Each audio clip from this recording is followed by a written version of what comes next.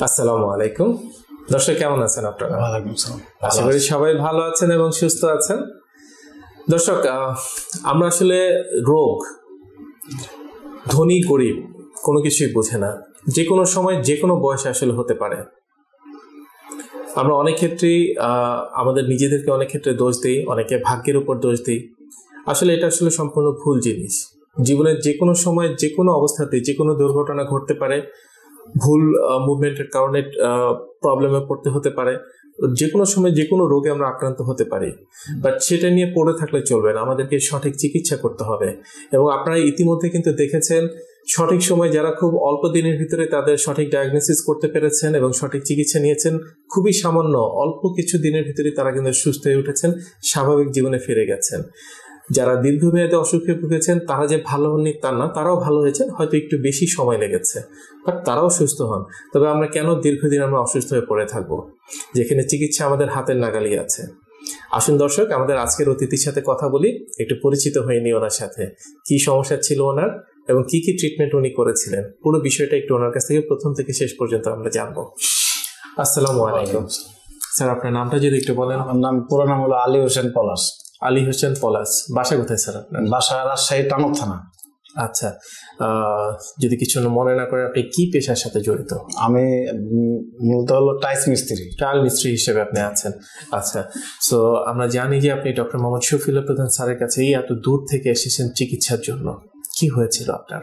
যদি একটু খুলে বলেন প্রথম আমার প্রথমে যখন সমস্যাটা হয় আর কি পায়ের ঘরে কমরে টয়লেটে বসতে পারতাম না। পায়ে ব্যথা করতো আর কি দু পায়ে টান লাগতো প্রচণ্ড বসতে পারতাম না। আচ্ছা। তখন থেকে আমি লো বসতেন? জি লোকমোটে বসতে পারতাম না। আচ্ছা। তখন থেকে আর কি আমি ট্রিটমেন্ট শুরু করি। আচ্ছা। প্রথমে আর কি আমরা জানি আপনার জীবনে একটা ছোট্ট ঘটনা আছে একটা ছোট্ট দুর্ঘটনা আছে। এটা কত সালের ঘটনাটা? এটা আমার আঠারো সালের দিকে পুকুরের ঘাটে পড়ে গেছিলাম পড়ে যে পিঠে ব্যথা পাইছিলাম আর কি। আচ্ছা। ওখানে হচ্ছে আহ, নিচে ছিল পাকা আর পাশে একটা গাছ ছিল। আর কি আপনার এই যে তালের গাছ রেখে ওর করে সাইড দিয়ে খুঁটা মেরে আপনার উপরে। পাকা একটা শান রাখা ছিল। শান রাখা ছিল। গাছের উপর পিঠের পরে পড়ছিল। ওখানে পড়ে পিঠটা আপনার ওখানে পড়েছিল। হ্যাঁ, জি। তারপর থেকে তারপর আমি ব্যথাটা বুঝতে পারিনি আর কি। মোটামুটি আপনার একুশ সালের প্রথম দিক থেকে মানে যখন কোভিড প্রায় মাঝামাঝি একটা অবস্থা হ্যাঁ, ওই সময়টা আপনি দেখছেন যে প্রচণ্ড কোমরে ব্যথা। কোমরে না পায়ে ব্যথা আর কি। আচ্ছা ব্যথাটা কোমরে আসেনি শুধু পায়ে থেকে পায়ে। আচ্ছা। মানে বুঝতে পারতেছি না এটুকু সমস্যা আর হাঁটা চলা কোনো সমস্যা হতো? হাঁটতে পারতাম না হাঁটলে বেশি বেশিক্ষণ হাঁটলে পায়ে ব্যথা করতো আর কি। তো আপনি যে টাইলস এর কাজ করতে হতো তখনও তো আপনাকে বিভিন্ন মুভমেন্টে বসতে হতো বসে বিভিন্ন ভাবে তখন থেকে আমার মানে পায়ের সমস্যার পর থেকে আমার কাজ বন্ধ আমি আর কাজ করতে পারি নাই। হতো। আপনার পরিবারের উপার্জনক্ষম ব্যক্তি তো আপনি। জি আমি একাই। আচ্ছা তো এই সময়টা যখন দেখছেন আপনি আগের মতো কাজ করতে পারছেন না কি করলেন তখন? ডক্টরের কাছে যাননি? যে ডক্টরের কাছে গেছিলাম আচ্ছা প্রথমে আমি রাজশাহীতে নিরু নিরু বিশেষজ্ঞ দেখাইছি। দুইজন নিরু বিশেষজ্ঞ দেখাইছি আর কি। তারপরে গত বছর এই টাইমে আমি সাভারে আসছিলাম। আপনার এই একজন স্পাইন নিরু স্পাইন সার্জনিক দেখাইছিলাম। উনি দেখার পরে বলছিল যে অপারেশন করার মতো কিছু হয় নাই? থেরাপি নিলে ঠিক হয়ে যাবে আর কি পরে আচ্ছা। সিআরপি তো আমি থেরাপি নিছিলাম বিশ দিন। হুম হুম হুম। নেওয়ার পরে কিছুদিন ভালোই ছিলাম আর কি হুম হুম। পরবর্তীতে আবারও একই রকম সমস্যা অ্যাসিড একটু মানে পরে টেস্ট করে দেওয়া হলো অ্যাসিড একটু বেশি জন্য গিরা ফুলে গেছিল আর কি আচ্ছা। ব্যথা করছিল। পরবর্তী টেস্ট করার পরে ওই ডাক্তার মনে করেন তার পায় নেই মানে উনি বিদেশে চলে গেছে পরে ভিডিও দেখে সারা এখানে আসছি আমি আর কি আচ্ছা তো এই যে আপনি যখন প্রথম যে দুজন ডক্টর দেখিয়েছিলেন তারা কি ধরনের ট্রিটমেন্ট দিয়েছিল আপনাকে তারা শুধু ওষুধ দিছিল আর বলছিল নিচে পা পা ভেঙে বসা যাবে না হুম হুম হুম। হাঁটা চলা বেশি করা যাবে না।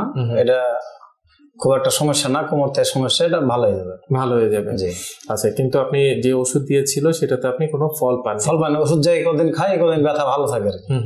তারপরে যখন দেখছেন যে কাজ করতে পারছেন না হাঁটু ভাঁজ করে বসতে পারছেন না তো এই সময়টায় অলরেডি উপার্জনও কিছুটা বন্ধ হয়ে গেছে। হ্যাঁ, জি বন্ধ। তো তখন তো আমরা অনেকটা হেল্পলেস হয়ে যাই। আসলে কি হবে? আমি কি পঙ্গু হয়ে যাচ্ছি? আমি কি কোনোদিনই ভালো হবে না? এই যে যে একটা দুশ্চিন্তা সবসময় কাজ করতো তখন কি করলেন? আমি লাস্ট সারের ভিডিও দেখে আর কি এখানে আসছি আর কি। সব শেষে কি হয়েছিল? আপনি কি খুঁড়িয়ে খুঁড়িয়ে হাঁটা শুরু করলেন একটা সময়?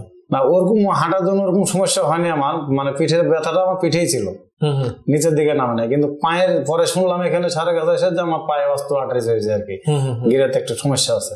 এই জন্য পা ভাঙে বসতে সমস্যা হয়। আচ্ছা। তো এই যে আজকে কততম দিন আপনার? আমার আজকে চোদ্দতম দিন। চোদ্দতম দিন। ওভারঅল জি। সেই প্রচণ্ড কষ্ট নিয়ে আসা কোমরে ব্যথা নিয়ে আসা কেমন আছেন আজকে? মোটামুটি আলহামদুলিল্লাহ এখন ধরেন পিঠের ব্যথাটা আমার নাইনটি পার্সেন্ট মতন নাই। আমরা মানে আগে বুঝতেই পারতাম। এখন তাও একটু বুঝতে পারতেছি। বেশিক্ষণ থাকতে পারতেছে না কিন্তু বুঝতে পারতেছি। বুঝতে পারছেন। জি। আমরা ওভারঅল একটু জানব যে আপনি ভালো আছেন কি খারাপ আছেন সেটা আমরা একটু আলহামদুলিল্লাহ আগের চেয়ে ভালো আছে। আলহামদুলিল্লাহ হাঁটাচলা করতে জি পারছেন? হাঁটা চলা করতে পারতেছি। অসংখ্য দর্শক আছেন। যারা এই মুহূর্তে হয়তো আপনাকে দেখছেন যেমনটা কিছুক্ষণ আগে আপনি বলেছিলেন যে আরও আগে যদি এই সঠিক চিকিৎসাটা আপনি পেতেন হয়তো আরও আগে আপনি সুস্থ হয়ে যেতেন। আমাদের সেই সকল দর্শকদের জন্য যদি কিছু বলেন। সে সকল দর্শকদের জন্য বলব যে আপনারা এদিক ওদিক ট্রিটমেন্ট না নিয়ে আপনারা সঠিক জায়গায় ট্রিটমেন্ট নেন। সঠিক জায়গায় সঠিক ট্রিটমেন্ট নিলে আপনি ভালো হবেন। অপারেশন সবার জন্য করা লাগবে না। থেরাপি ভালো সঠিক থেরাপি পেলে আপনি সুস্থ হবেন এবং মেডিসিন খেলে আর কি। আলহামদুলিল্লাহ। দর্শক শুনলেন? বিচার করার দায়িত্ব আপনাদের। কি করবেন? সুস্থ থাকবেন নাকি অসুস্থ হয়ে থাকবেন? আমরা সবাই সুস্থ হতে চাই, সবাই ভালো থাকতে চাই। আমাদেরকে অন্তত একবার সুযোগ দিন, একবার চেষ্টা করতে দিন। আর কতদিন ব্যথার জন্য বিছানায় শুয়ে থাকবেন? এক গ্লাস পানির জন্য আরেকজনের কাছে হাত পাততে হবে। না, দর্শক, ভালো থাকবেন, সুস্থ থাকবেন, মানুষের মতো করে বাঁচবেন। আসসালামু আলাইকুম। আপনাকে অসংখ্য ধন্যবাদ, স্যার। আসসালামু আলাইকুম। সালাম।